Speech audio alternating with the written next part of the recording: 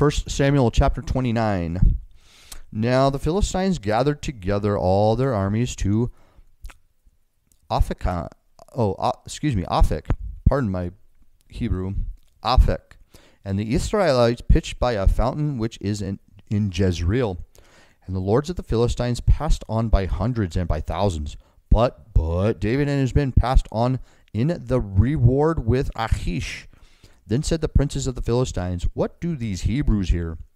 And Achish said unto the princes of the Philistines, Is not this David the servant of Saul the king of Israel, which hath been with me these days, or these years, and I have found no fault in him since he fell unto me unto this day? And the princes of the Philistines were wroth with him. And the princes of the Philistines said unto him, Make this fellow return, that he may go again to his place, which thou hast appointed him, and let him not go down with us to battle, lest in the battle he be an adversary to us.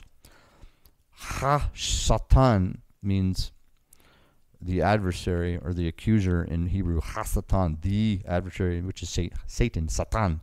Ha is the, the adversary. Ha Satan.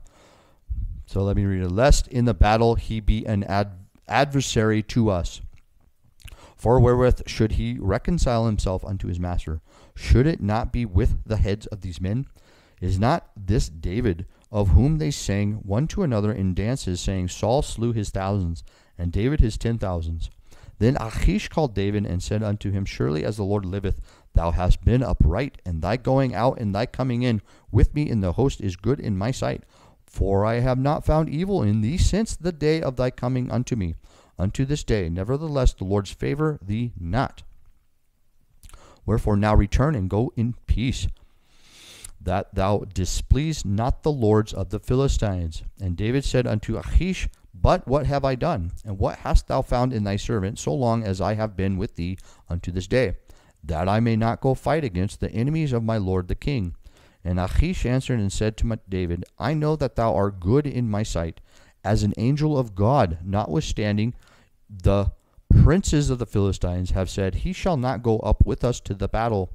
Wherefore, now rise up early in the morning with thy master's servants that are coming with thee, and as soon as ye be up early in the morning, and have light, depart. So David, and have light, depart, comma. So David and his men rose up early to depart in the morning, to return into the land of the Philistines. And the Philistines went up to Jezreel.